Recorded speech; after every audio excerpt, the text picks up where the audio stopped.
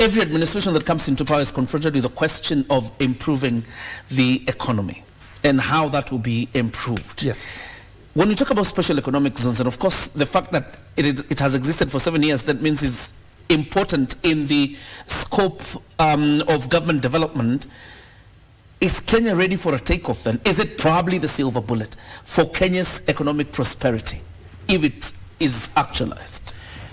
Let, let, let me give you specific examples to demonstrate how it's been done elsewhere. Today, as we speak, China has seven special economic zones broadly. Their contribution to GDP is 22%. Those zones create 30 million jobs. Mm-hmm. Okay?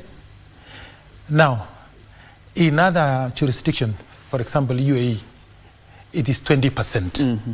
Okay? In Morocco, local here, it's over 10%. percent mm-hmm. So, around the world, special economic zone, eh, economic zone program has been a mechanism, an instrument used to accelerate industrialization, creating jobs in exchange for incentives. Mm-hmm.